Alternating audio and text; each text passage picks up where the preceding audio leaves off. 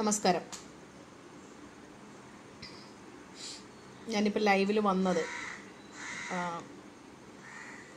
ഇന്നലെ മുതൽ ശ്രദ്ധയിൽപ്പെടുന്ന ഒരു കാര്യമുണ്ട്.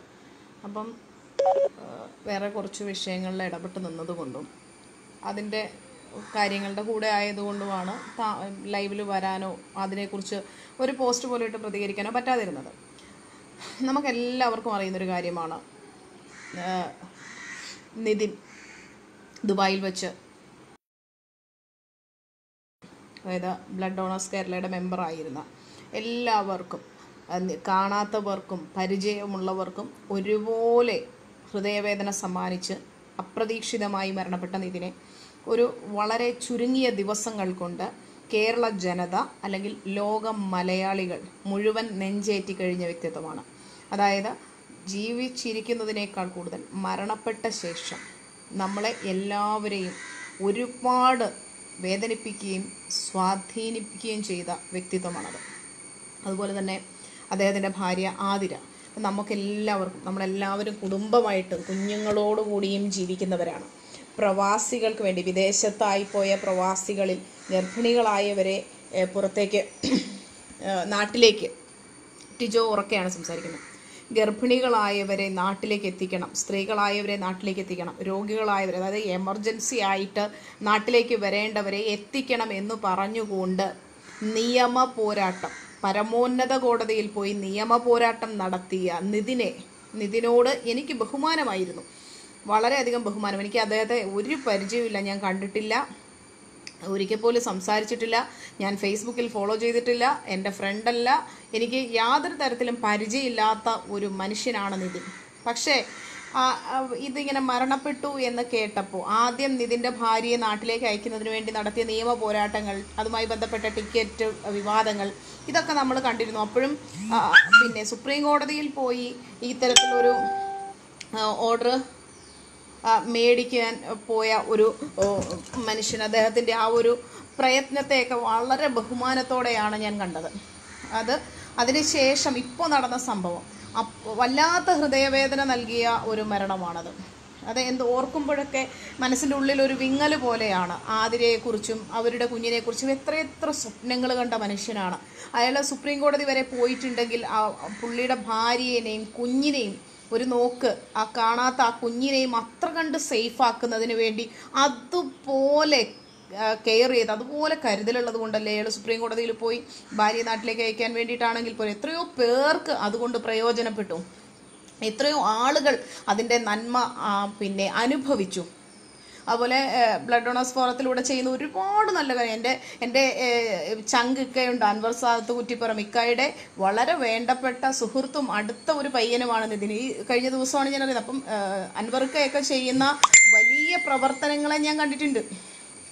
ഞാൻ കണ്ടിട്ടുണ്ട്. ഞാൻ അനുഭവസ്ഥയുമാണ് ഒരുപാട് കാര്യം.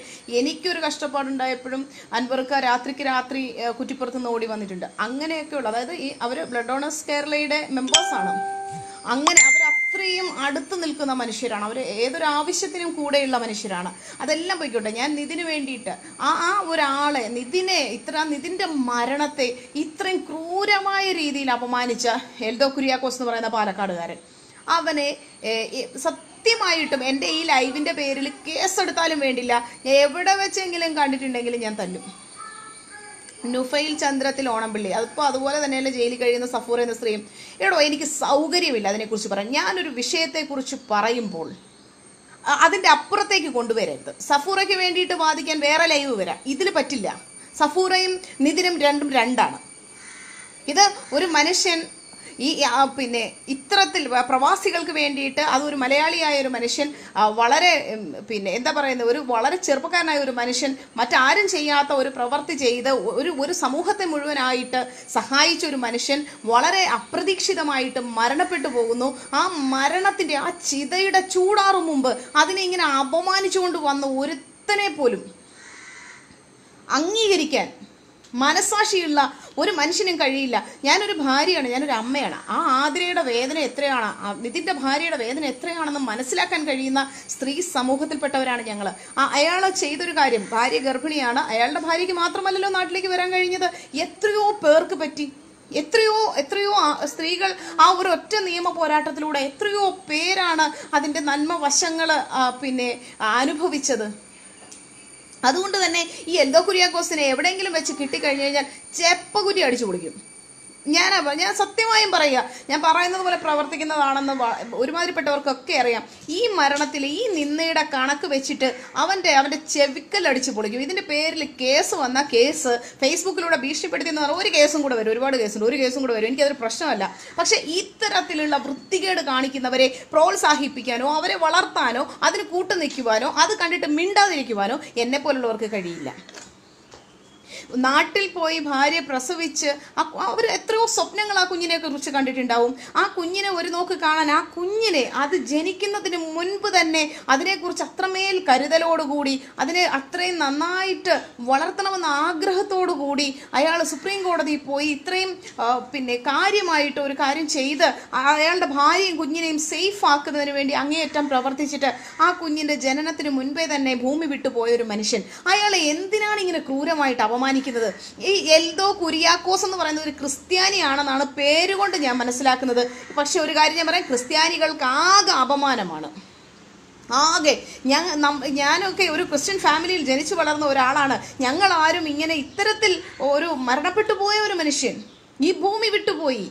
ആ കുടുംബത്തിന്റെ വേദന നമ്മളൊക്കെ മാധ്യമങ്ങളിലൂടെ കണ്ടതാണ്. ആ പെൺകുട്ടി ആതിര അതിനെ എങ്ങനെ അതിജീവിക്കുമെന്ന് സത്യമായും ആകാംക്ഷയോടെ ഞാൻ ആലോചിക്കാറുണ്ട്. എന്റെ ദൈവമേ ഇതെങ്ങനെ എങ്ങനെ ആ കുട്ടി താങ്ങും? ആ കുഞ്ഞ് അവൾക്ക് വേണ്ടി അവൾ ജനിക്കുന്നതിന് വേണ്ടി തന്നെ മുൻപേ അവൾക്ക് വേണ്ടി കരുതൽ വെച്ചൊരച്ഛൻ. എല്ലാവരും അങ്ങനെയാണ്. പക്ഷേ നിതിൻ കുറച്ചും കൂടെ വലിയ തോതിൽ അത് ചെയ്തു. അത് എത്രയോ ആഗ്രഹത്തോടു കൂടി ജീവിച്ചവരാണ്. അവർ തമ്മിലുള്ള ഒരുപാട് ഫോട്ടോസ് ഞാൻ കണ്ടു. ആ പെൺകുട്ടി ഇതിനെ എങ്ങനെ താങ്ങും? എങ്ങനെ അത് ജീവിക്കും? അത്തരത്തിലുള്ള ഒരുപാട് ഒരുപാട് ആലോചനകൾ എല്ലാവർക്കും ഉണ്ട് ആ സമയത്ത് ഇവനെ പോലെയുള്ള രണ്ടും കേട്ട പരനാറുകൾ ഇമാതിരിയുള്ള വൃത്തികേടുകൾ എഴുതി വിടുക. ഒരു ഇവിടെ ഇവിടെ ഒരു മൃതദേഹത്തോട് അനാദരവ് കാണിച്ചാൽ കേസെടുക്കാൻ വകുപ്പുള്ള നാടാണിത്. അപ്പം മരണപ്പെട്ടു പോയി പിന്നെ ശവസംസ്കാരം കഴിഞ്ഞ ഒരാളെ കുറിച്ച് മുഖപുസ്തകത്തിൽ ഇങ്ങനെയൊക്കെ എഴുതി പിടിപ്പിക്കുന്ന ആ മാനസികാവസ്ഥ എന്ന് പറഞ്ഞു കഴിഞ്ഞാൽ അങ്ങേ അറ്റം ക്രിമിനൽ മെന്റാലിറ്റിയാണ്. മാനസിക രോഗിയല്ല അവനൊരു ക്രിമിനലാണ്. കാരണം മരണപ്പെട്ടു പോയ മനുഷ്യരോട് വൈരാഗ്യം വെച്ചു പുലർത്തി. ഇപ്പം എനിക്ക് ഒരുപാട് ശത്രുക്കളുണ്ട്. അവരിൽ ഒരാൾ ഇപ്പോൾ എവിടെയെങ്കിലും മരിച്ചു പോയെന്ന് പറഞ്ഞു കഴിഞ്ഞാൽ തീർച്ചയായിട്ടും അയ്യോ നന്നായി എന്ന് എനിക്ക് പറയാൻ കഴിയില്ല. അയ്യോ അവരുടെ കുടുംബം അനാഥി ആയി പോയല്ലോ എന്ന് ചിന്തിക്കാനേ എനിക്ക് പറ്റുള്ളൂ. അല്ല ഞാൻ എവിടെയെങ്കിലും വീണ് മരിച്ചു പോയാലും എനിക്ക് തോന്നുന്നില്ല ശത്രുക്കൾ ഇതുപോലെ അതാ ചെയ്യുമെന്ന്. നമ്മളൊക്കെ ആ കുടുംബത്തെക്കുറിച്ചുള്ള ആ ഒരു ഒരു പരിഗണനയിലും അവരുടെ വേദനകളിലും പങ്കുചേരുന്ന മനുഷ്യരാണ്. അപ്പം ഇതിനിടയ്ക്ക് ഇത്തരത്തിൽ ഉള്ള ചെയ്തികൾ അംഗീകരിക്കാൻ പറ്റുന്നില്ല. അതുകൊണ്ട് തന്നെ ഇവനെ ഈ പറയപ്പെടുന്ന എൽദോ കുര്യാക്കോസ് പാലക്കാട് എങ്ങാണ്ടാ ഉള്ളത് പാലക്കാടുകാരൊന്ന് മനസ്സ് വെച്ച് കഴിഞ്ഞാൽ അവനെ കിട്ടും. ഉറപ്പായിട്ടും കിട്ടും. ഉറപ്പായിട്ടും പാലക്കാടുള്ളവരൊന്ന് മനസ്സ് വെച്ച് കഴിഞ്ഞാൽ ഈ പറയപ്പെടുന്ന എൽദോ കുര്യാക്കോസിനെ കിട്ടും. എൽദോ കുര്യാക്കോസിന്റെ ആ ഒരു രണ്ട് തല്ലിയാലും കൊള്ളാൻ മാത്രമുള്ള കവിളൊക്കെ ഉണ്ട്. ആ ഫോട്ടോ കണ്ടിട്ട് അങ്ങനെയൊക്കെയാ തോന്നണേ. രണ്ട് രണ്ട് ചെകളയ്ക്ക് ഓരോ പൊട്ടീര് കൊടുക്കണം. ഇങ്ങനെയൊന്നും മനുഷ്യരോട് പെരുമാറരുത്. ഇങ്ങനെയൊന്നും മനുഷ്യരോട് ചെയ്യരുത്. അയാൾ തിരിച്ചു വന്ന് ഒന്നും ചെയ്യില്ല എന്ന് അറിഞ്ഞുകൊണ്ടല്ലേ ഇത്തരത്തിൽ അവരുടെ കുടുംബത്തിനും ഈ സമയത്ത് ഒന്നും തിരിച്ചു പറയാൻ പറ്റൂല എന്ന് അറിഞ്ഞുകൊണ്ടല്ലേ ഇത്തരത്തിൽ ഒരു ഇത്രയും വൃത്തികെട്ട രീതിയിൽ പെരുമാറിയത്? മനസാക്ഷിയില്ലാത്തത് മൃഗമെന്ന് ഞാൻ പറയില്ല. മൃഗത്തിന് മനസാക്ഷി എന്ന് പറയുന്ന ഒന്നുണ്ട്. ചില സമയങ്ങളിൽ മൃഗത്തോട് ആദരവ് തോന്നിപ്പോകും. ഇവനെ പോലെയുള്ളവരെയൊക്കെ കാണുമ്പോൾ. തീർച്ചയായിട്ടും ഈ ഒരു കാര്യത്തിൽ എൽദോ കുര്യാക്കോസിനെതിരെ കൃത്യമായിട്ട് കൃത്യമായിട്ട് നിയമ നടപടി നിയമ നടപടിക്ക് മുമ്പ് സത്യത്തിൽ രണ്ടു മൂന്ന് പൊട്ടിക്കണം. ഞാൻ എനിക്ക് എന്തെങ്കിലും പിന്നെ എനിക്ക് ഇയാളെക്കുറിച്ച് ഒരു ഐഡിയയും ഇല്ല ഒന്നുമില്ല. ഈ ഇവിടുന്ന് ഞാൻ കോട്ടയം ജില്ലയിലെ പാലക്കാട് വരെ പോകാനും പറ്റില്ല. ഇപ്പൊ ചോദിക്കും നിങ്ങൾ ആരാണ് കൊട്ടേഷൻ എടുക്കുന്ന ആളാണെന്ന്? അങ്ങനെയല്ല. ഇത്തരത്തിലുള്ള നിയമ വിരുദ്ധമായ ഏർപ്പാടുകൾ അല്ലെങ്കിൽ ഇത്തരത്തിൽ മനസാക്ഷിക്ക് നിരക്കാത്ത കാര്യങ്ങൾ ഇത്രയേറെ ഹൃദയത്തെയും ആത്മാവിനെയും കീറിമുറിച്ച മരണത്തിൽ പോലും സന്തോഷിക്കുന്നവരോടൊപ്പം നിൽക്കാനുള്ള ആ ഒരു ഒരു വൃത്തികെട്ട ചിന്താഗതിയോ മനസ്സോ ഒന്നും എനിക്കില്ല. എന്റെയൊക്കെ മുമ്പിൽ നിന്നിട്ടാണ് ഇത്തരത്തിലൊന്ന് പറയുന്നതെങ്കിൽ ഇത്തരത്തിലൊന്ന് എഴുതുന്നതെങ്കിൽ ആ ഫേസ്ബുക്കിലിട്ട വിരലിപ്പോൾ ഞാൻ രണ്ടായിട്ട് കുത്തി ഒടിച്ചിട്ടുണ്ടായേനെ. തീർച്ചയായിട്ടും ഫേസ്ബുക്കിൽ കുത്തി കുറിക്കാൻ ആ വിരൽ ഉണ്ടാവുകയില്ല. ഞാൻ ഇങ്ങനെ കുത്തി ഒടിച്ചു വെച്ചേനെ ഞാൻ. അപ്പം അതുകൊണ്ട് എത്രയായാലും നിതിനെ അപമാനിച്ചവരോട് മരണശേഷവും ശത്രുത സൂക്ഷിക്കുന്നവരോട് അവരോട് പിന്നെ എക്കാലത്തെ ആജന്മശത്രുവായി കാണേണ്ട ഒരു അവസ്ഥയിലേക്ക് കാര്യങ്ങൾ പോയിട്ടുണ്ട്. തീർച്ചയായിട്ടും അയാൾക്കെതിരെ നിയമ നടപടി വേണം. സാമൂഹ്യ മാധ്യമങ്ങളിൽ പ്രതിഷേധം ഉയരണമെന്ന് ഞാൻ പറയുന്നില്ല. മനസാക്ഷിയുള്ളവരൊന്ന് പ്രതികരിക്കേണ്ടതുണ്ട്. മരണത്തിന് ശേഷം അപമാനിക്കുന്ന ആ ഒരു അവസ്ഥയെക്കുറിച്ച് നമ്മൾ അത് ഭയങ്കരമായ വേദന ഉണ്ടാക്കുന്ന ഒന്നാണ്. ഭയങ്കരമായ വേദന ഉണ്ടാക്കുന്ന ഒന്നാണ്.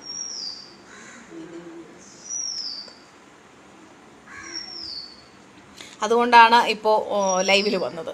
ഇത്രയെങ്കിലും ഒന്ന് പറയണം എന്ന് എനിക്ക് തോന്നി. ഒരുപാട് നന്മ ചെയ്തൊരു മനുഷ്യനല്ലേ അയാൾക്ക് വേണ്ടിയിട്ട് ഇത്രയെങ്കിലും എനിക്കൊന്ന് പറയണമെന്ന് തോന്നിയതുകൊണ്ടാണ്. ഞാൻ ഞാൻ പറഞ്ഞല്ലോ ഞാൻ എനിക്ക് അയാളെ അറിയില്ല കണ്ടിട്ടില്ല ഒന്നുമില്ല. ആ ആതിരെയും നിതിനെയും ഓർത്തിട്ടാണ് ഞാനിപ്പോൾ ഇപ്പോൾ ആ കുഞ്ഞിനെയും ഓർത്തിട്ടാണ് ഞാനിപ്പോൾ ലൈവിൽ വന്നത്.